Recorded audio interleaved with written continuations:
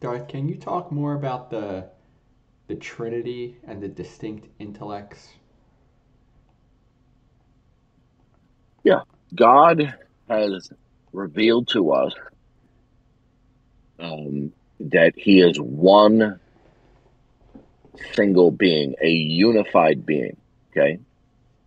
And within the unity of His being, there subsists a plurality of seats of intellect or persons. Okay. So God is both unified and diverse. Okay. So God is one in one sense, and he is three in another. Okay. So when people say that one and three is a contradiction, these are people that uh, are either ignorant of what the Trinity represents, or they're just being sophists. Like when they try to pull the the the the, the, the law of transitivity, the transitivity of identity. Okay. Well, in the sense that they're three, what would be the difference between each of the three uh, intellects? That they're discrete from each other. Uh, in what way? The seed of intellect of the Son is not the seed of intellect of the Father. Yeah, I mean, to I mean, give like, you an look, look, I'm going to give you an analogy. Okay, are you on a phone right now? uh, no, I'm using a mic. Wait, maybe What it's what are you what are you on right now? A computer, a tablet, a phone? a computer. Okay, and is it an Intel chip? Um, maybe. I'm not sure. Oh, oh, I know, I know, what, I know what the problem is. Sorry. Does it sound better now? Your microphone is fine. What kind of CPU do you have? Um, let me check. Either an Intel, uh, AMD, or it'll be an Apple chip, most likely. There could be other chips, but those are the. Uh, get Is it a? a Is it, Intel. okay. If you were to examine that single CPU under a microscope, its internals, you would find out that it has more than one core. Okay. Are you familiar with cores? Uh, somewhat, yeah. Okay, so the computer, the CPU is composed of many, many transistors, little tiny switches. It got to a point where it was it was very difficult for the designers when you're getting up in the billions of transistors. So what they decided to do was make a computer chip with more than one core. Okay. And they first started out with that the, the chip would have two cores. Then they went to four cores. Okay. So in modern chips today, they're typically multi cored, right? Yes. So each core can function like the whole CPU. One core is discrete from another, but they are concretely unified as one central processing unit. Okay? Yeah. Now, does that prove the Trinity? No. It's just an analogy. Likewise, I could give you another another al- analogy where we have a cube. A cube has three discrete dimensions. Okay?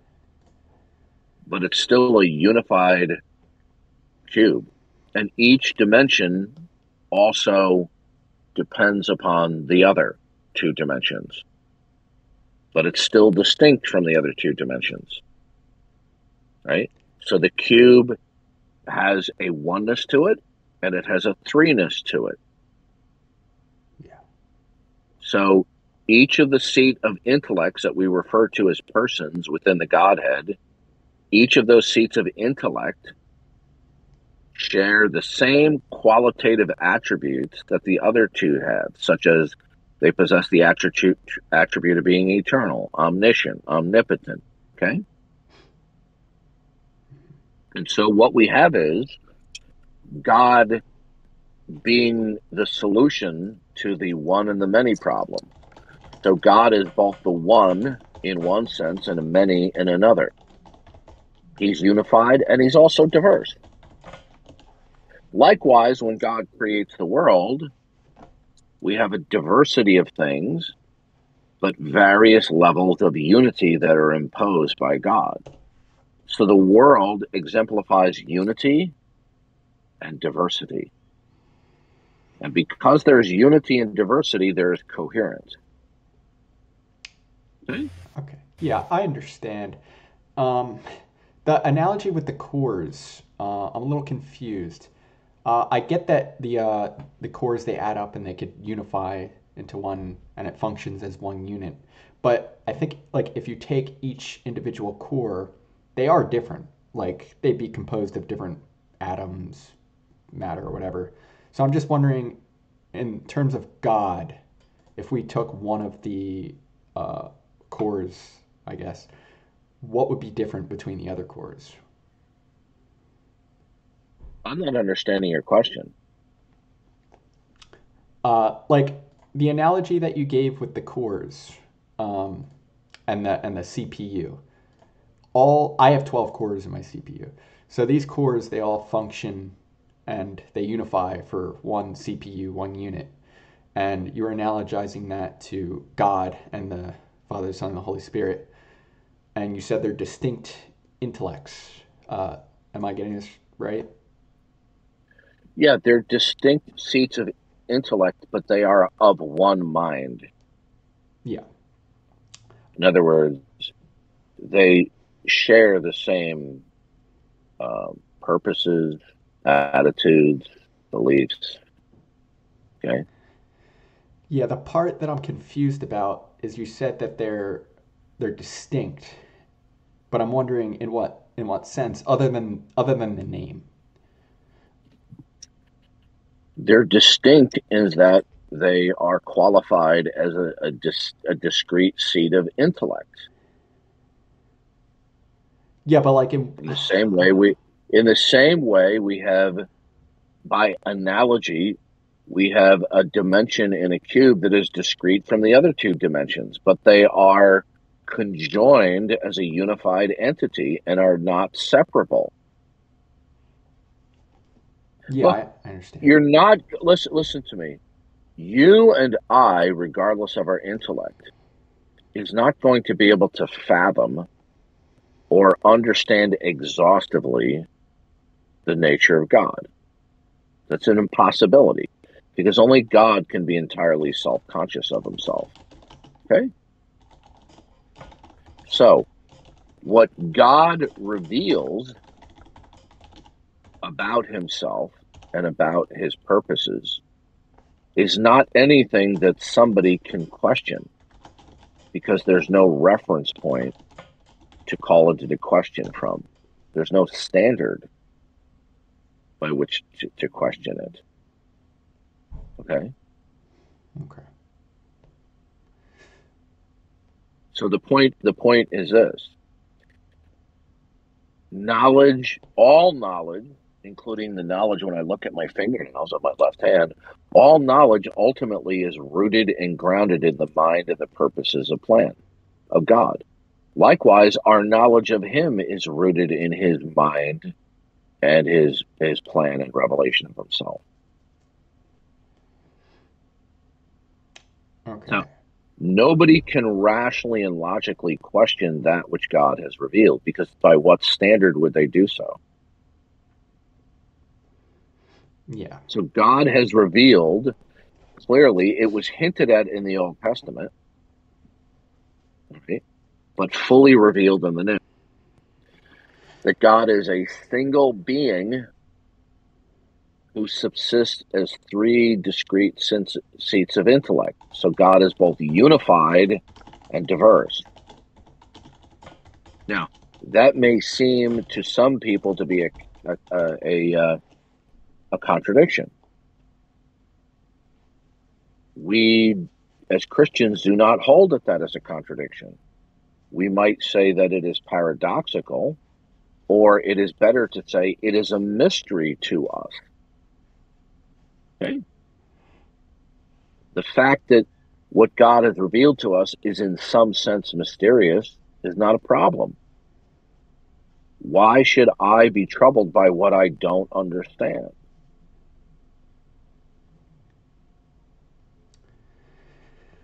Okay.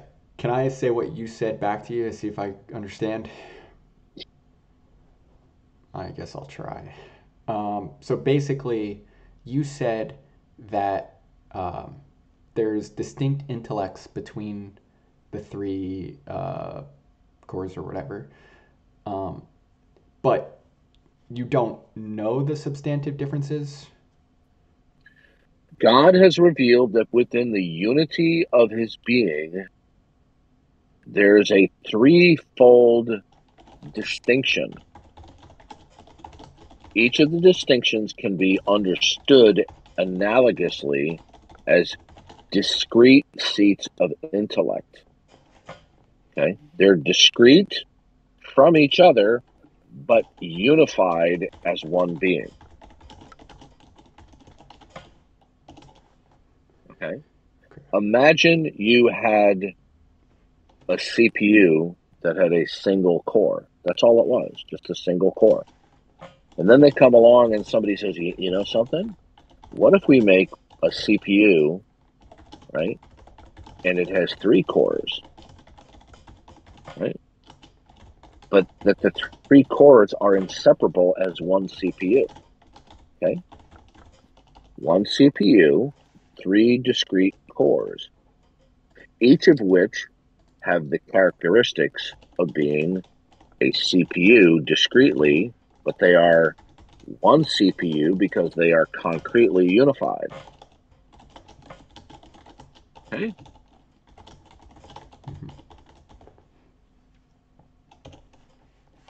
So there is no rational way to ob- object to it. And in fact, when you get into it philosophically and theologically, God would then not be coherent and perfect if he were a Unitarian being, or if he was a binity, a bi- bininity, meaning two persons unified, or if there was a quadrinity. Okay, there are philosophical problems with this. A Unitarian God can't be perfect. He cannot he cannot actualize love or relationality before creation. Okay. Okay. See, people have a problem that if they can't understand something to their satisfaction, they want to reject it as illogical. That's what Adam and Eve did. They decided to reject God's self disclosure of himself and um, they opted for their own autonomous reasoning that the mind of man would be supreme or the, the final court of appeal through reason and experience and induction. And then we had the fall of man. Okay? So those people who try to refute the doctrine of the Trinity, they're doing so under the premise of the supremacy of the mind of man. But the supremacy of the mind of man cannot be established to be real. Okay?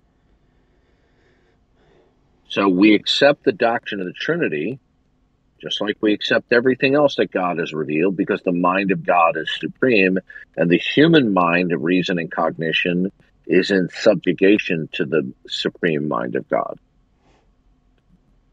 if somebody says, "Well, I don't accept the Trinity," I, well, on what grounds? Well, I'm just trying to understand. Um, you said God revealed that there there's the they're discrete seeds of intellect. I think that's what you said. Uh, yeah, God has revealed that He is multi. He is a multi-personal single unified being. Yeah. But when I ask you how these are different, they're different in that they are discrete from each other. Besides that, there is no besides that. Well, this how is how, how okay, hold on a second. How is your seat of intellect different than mine? My seat of intellect is not you. Uh yeah, that's true. Now, Darth, what if it was what if it what if it was the case that um, in a world where God is, could God place two discrete intellects within one body? Of course he could. You would have two discrete intellects residing in one human. But God didn't decide to create humans that way. Okay. This is why God said he made man in his image.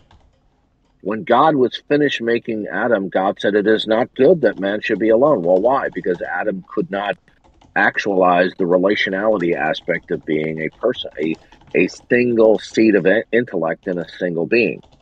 So God created Eve. After he created Eve at the end of Genesis 1, he said he created all things are good. Adam was now good.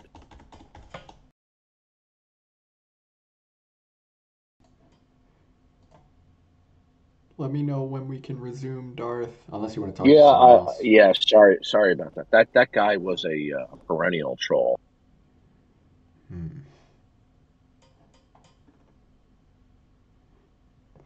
Do you want to talk to someone else, or do you want to continue this? No, you can continue. Okay. Um, so you said where our minds are discrete. Um, but the the thing is with that with that is like there's qualitative differences to speak of other than just being discrete. You know what I mean? Discrete means one thing is not the other. Yeah. Yeah, I think the mistake that you're making is you're trying to have more understanding uh, of the Trinity than what has been given.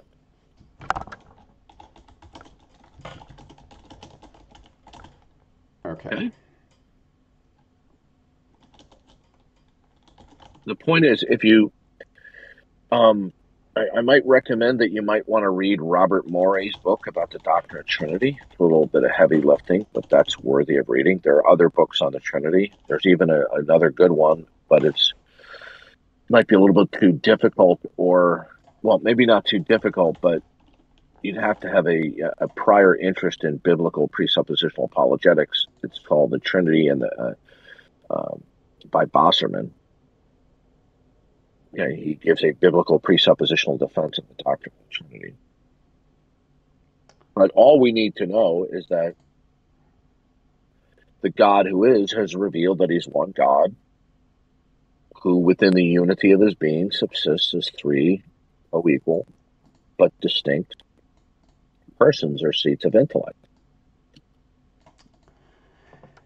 Do you see where I'm coming from with my misunderstanding? Do you? I don't. I don't see what the problem is. Well, the problem is the use of the word discrete without without any other qualitative difference. Discrete means that something is distinct from something else in some way.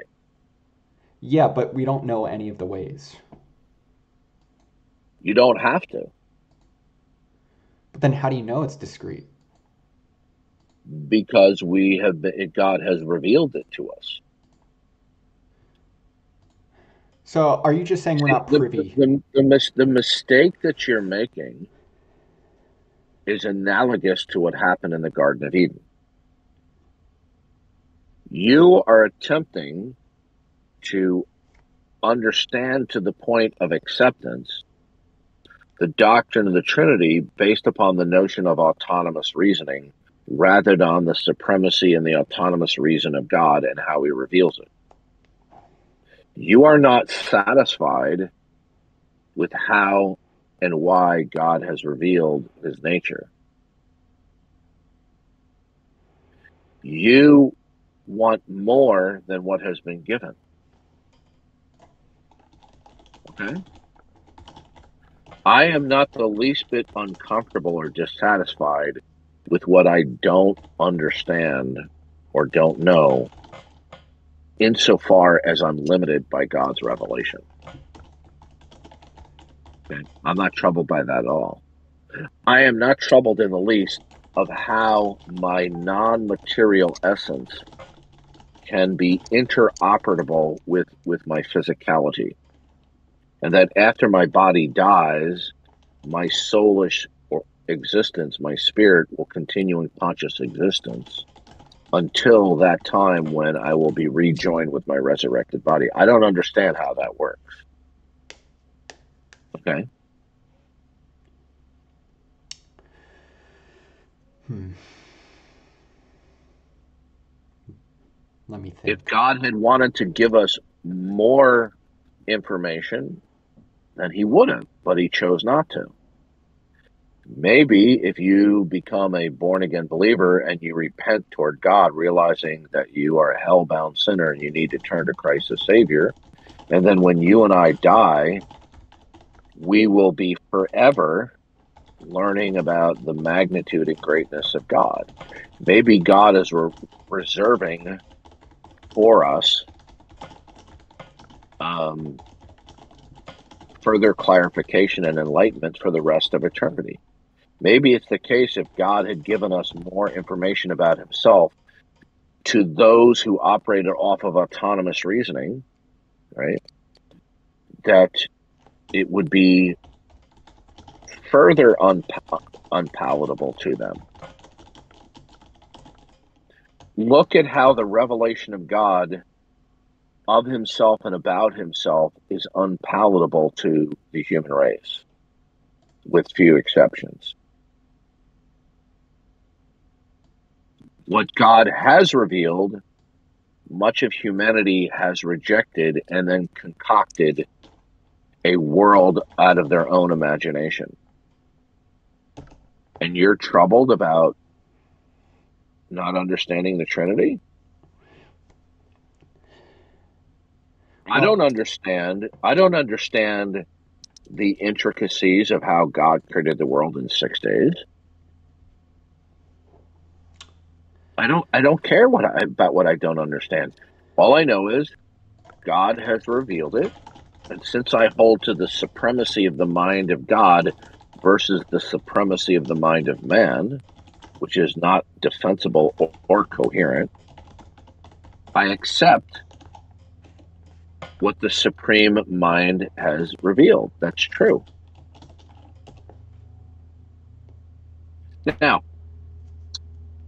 if God permits me through rigorous studying the Bible and benefiting from those who study the Bible to understand certain implications that you will get from rigorously studying the Bible, fine. Or, for example, um, like the Bible doesn't go into specificity as to the nature of time. Okay, so we might endeavor on a research project to try to philosophically unpack the different views of time and which one would best fit and be the most defensible and coherent um, to understand how God relates to time. That's fine. But when it comes to the nature of God, God has only given us a limited amount of information.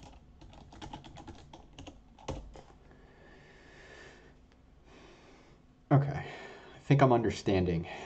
Um, so you're saying we don't have enough information to to tell someone how they are discrete, right? Yeah, discrete means something is not the other.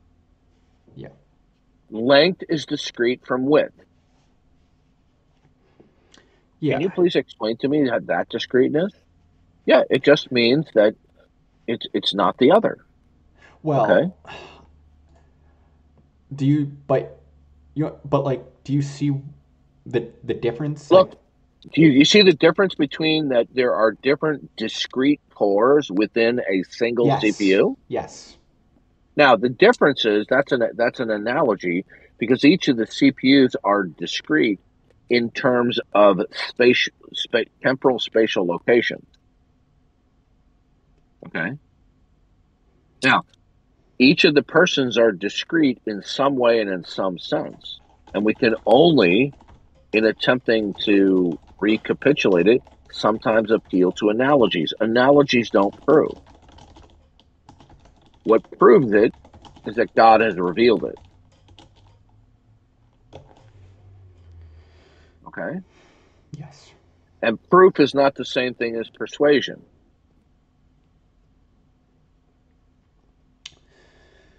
Uh, I guess, um, like when you say that length and width are discrete, I accept that because like there are qualitative differences to speak of, and that's that's why it's not analogous. I don't think. Did you ever did you ever hear of the movie? This you know who Steve Martin was? No, I'm young. Oh, okay. He's a he's a famous comedian, movie star, and he did a comedy called The Man with Two Brains. And something went wrong, and the consciousness of one person went and resided in another, where within the one body there existed two consciousness. And there's a bat a, called The Man with Two Brains. It's a comedy. The point is, is you probably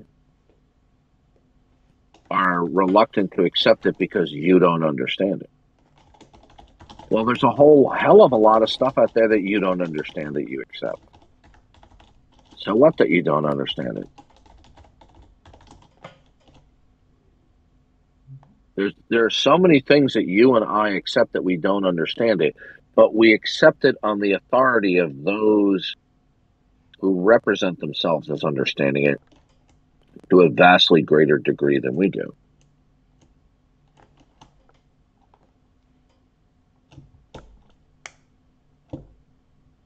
Hold on, let me think.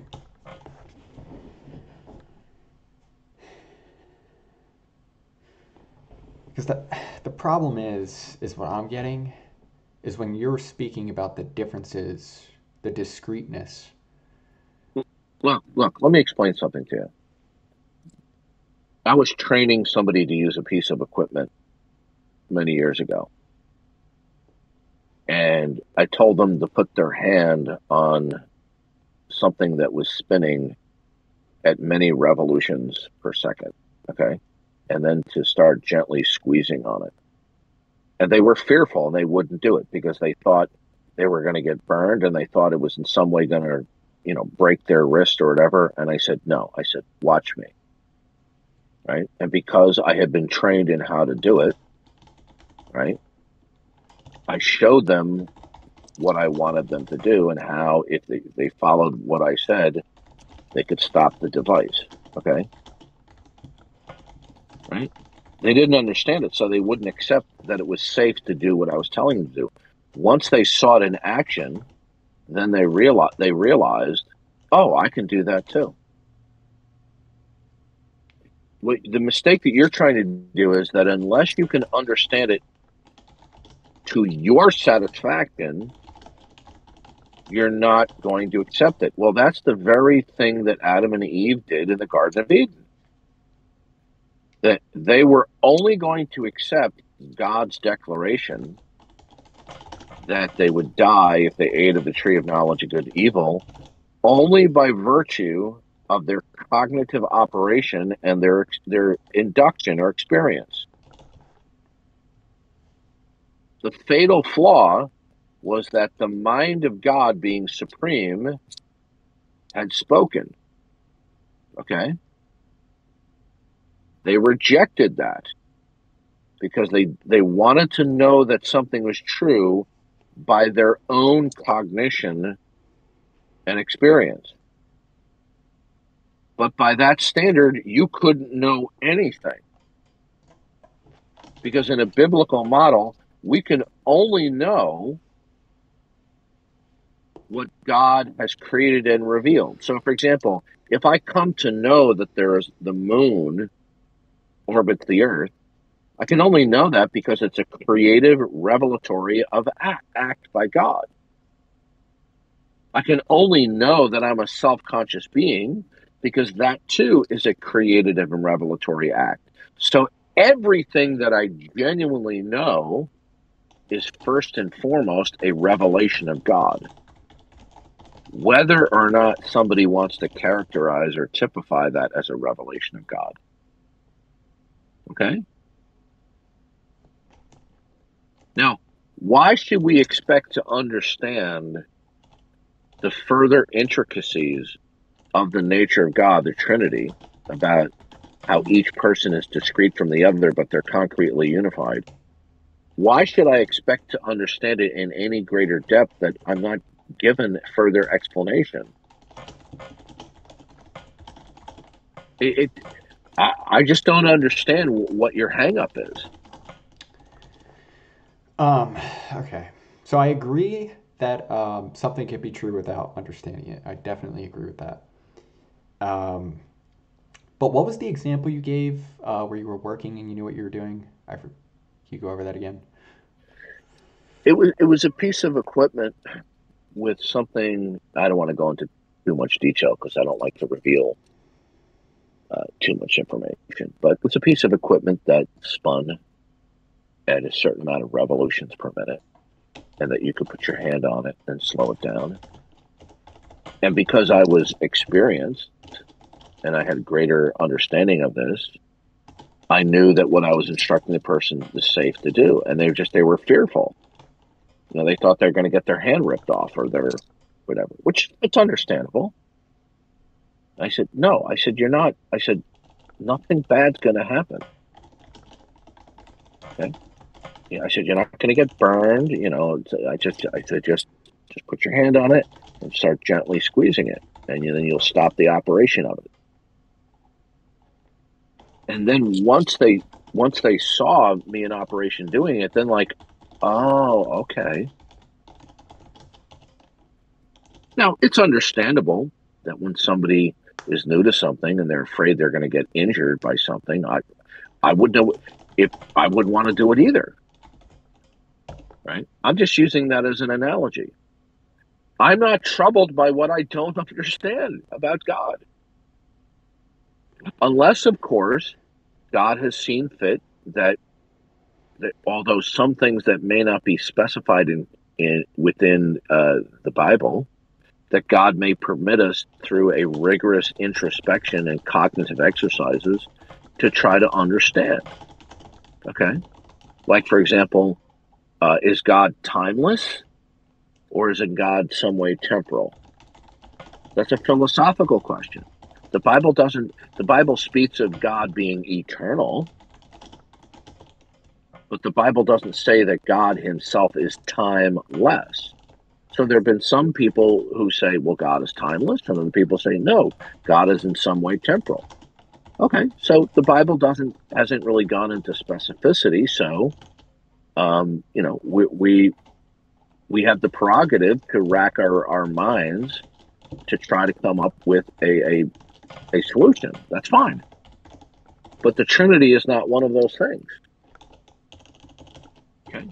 We need to be satisfied that certain things at this juncture of God's plan of redemption, that there's mystery. Okay. Okay.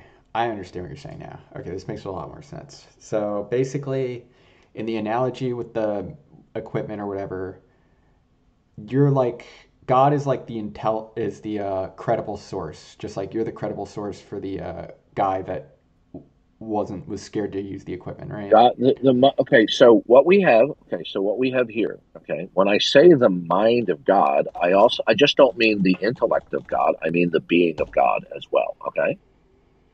So the mind of God in the biblical worldview is ultimate. Okay, so to be ultimate means to exist um, without any peer. It means to be supreme. Okay? So the mind of God, the being of God, the intellect of God, is supreme, it is ultimate. So when God reveals something, it is beyond dispute. It cannot be rationally disputed. Okay? Okay. Now, if God reveals something, but he permits us by study in one part of scripture and he and we and we we we do a, a systematic study of of the scripture then we can say okay here's how one part of scripture clarifies another or if we go through certain cognitive processes in philosophy because sometimes god has allowed us through rigorous cognitive inspection of our own thinking to figure certain things out okay that's fine but the Trinity goes to the core of, of God's being. And you're not going to be able through just, you know, purely cognitive exercises, philosophically going to be able to figure this out.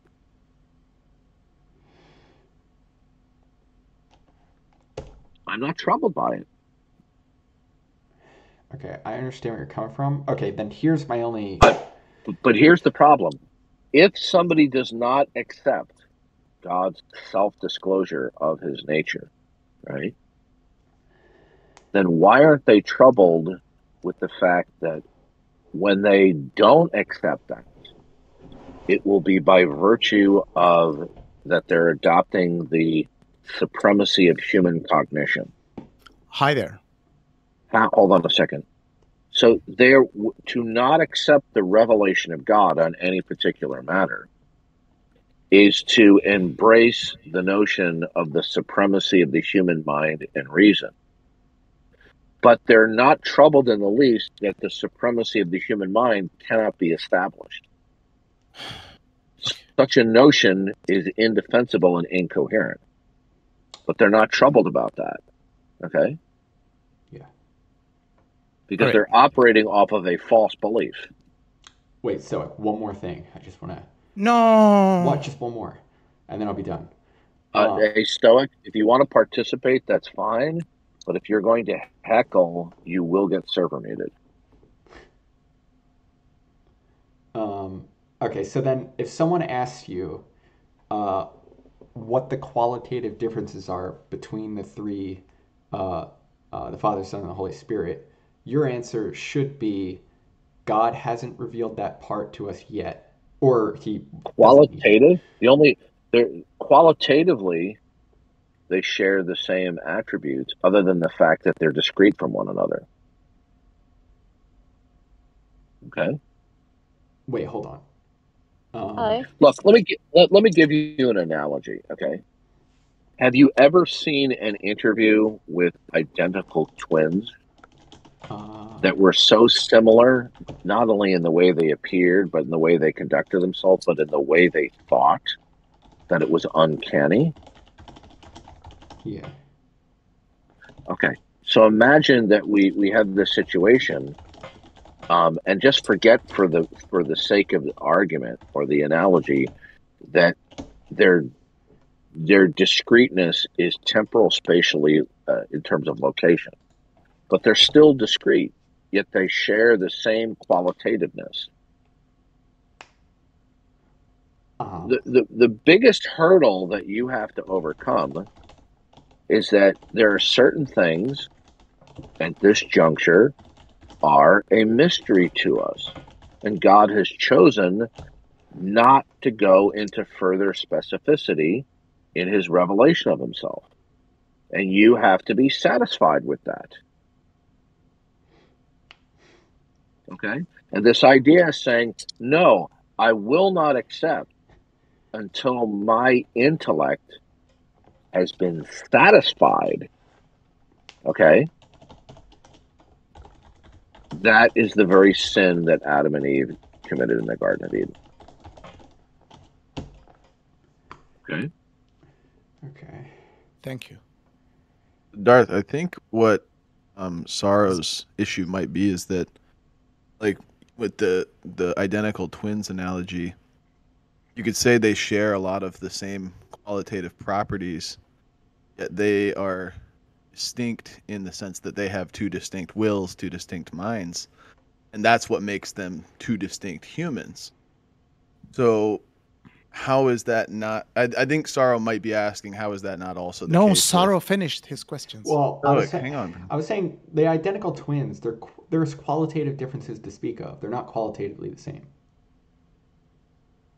Right, in the main, but the main. Well, it's an, it's an analogy. They have two The different point, wills. the point is this. The point is this. God has made himself very clear, okay, in the scriptures.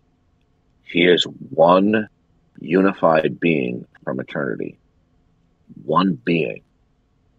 Within that being, there's a threefold distinction of seats of intellect that we call persons. You don't have to understand it. Okay? Ye- All right. Because if if, if if if you're going if you're going to go by that principle, then you're going to have to abandon your own position because number one, you're not accepting what emanates from the the supremacy of the mind of God. True. You're that you're then operating off of the false belief in the supremacy of the human mind. The supremacy of the human mind cannot be rationally and logically accounted for. Period. But the person who rejects the revelation of God is operating off of that false belief, which, according to their own criterion, could never be satisfied by a cognitive investigation. Yes. So their position, when they reject what God has clearly revealed, regardless of the content of what they uh, of the revelation, such a position is hopelessly incoherent. He was an obvious troll. Um, Darth, I, I do have a question on, on your view of the, the Trinity. Do you, and if you don't have an answer, that's fine, but you that there are like three wills in the Trinity or just one singular will? Um, we should use the figure of speech. They are of one mind. Okay. Even though they they their seats of intellect are discrete from each other, they share the same purpose, the same will, common will. Okay.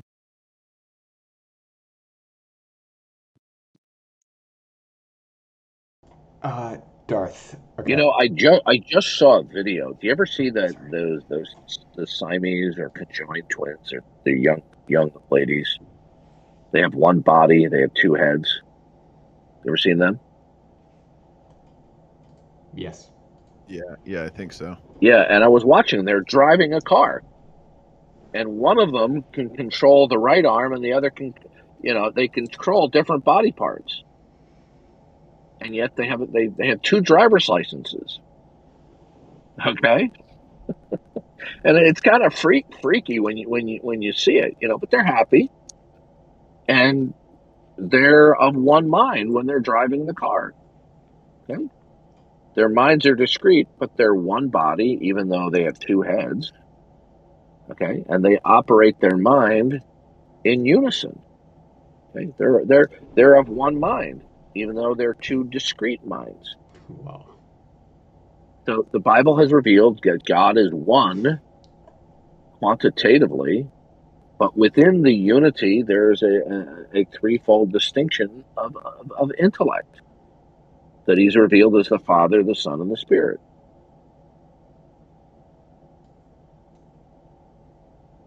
Now, the point is this it will not be possible on the grounds of logic to reject it. People think they do because they think that whatever their cognitive gymnastics are, that constitutes logic. Well, no, it doesn't. Because the seat of logic will be the supremacy of the mind of God. Okay? Not the supremacy of the mind of man. So, like I said, those who reject what God has revealed about himself, his Trinitarian nature, are doing so off of the principle of the supremacy and autonomy of the mind of man, which cannot be rationally and logically defended. So they're operating off of a principle not only that is indefensible, it's it's it's irrational on their own terms, but they don't care. You see, that's the nature of rebellious man. Rebellious man doesn't care what God has revealed. Rebellious man just wants to believe what he wants to believe. Wait, so do you view the minds as the si- like the Siamese twins? The Son is a discrete seat of intellect from the Father. Okay? They are discrete in some way and in some sense, but they are unified as one being, inseparable. Okay, from eternity. Look, I understand. once you understand, listen, listen. So in philosophy, one of the ultimate questions in philosophy is what is the fundamental nature of everything? Is it in its oneness or its manyness? Okay. Which is ultimate? Okay. It's called the one and the many problem, or which takes priority. Well, we can say that this problem is solved in the triune God of the Bible. That what is ultimate and fundamental is the unity, the oneness of God. Okay? And that the world, being many, emanates from the oneness of God. So God is the grand unifier of the many. So you have God and the world. So in God, we have unity and diversity, and this constitutes coherence within the being of God. God then creates a world, uh, one world, where there's a plurality of things, and there are various levels of unity among the diversity of things. So we have oneness and we, we have manyness, which results in intelligibility. If one rejects the notion that God is the one and the many, that his oneness and his manyness are equally ultimate, one does not take priority over another. If you reject that, then you're going to have to reject the notion that unity and diversity um, must exist in order for there to be coherence. Look,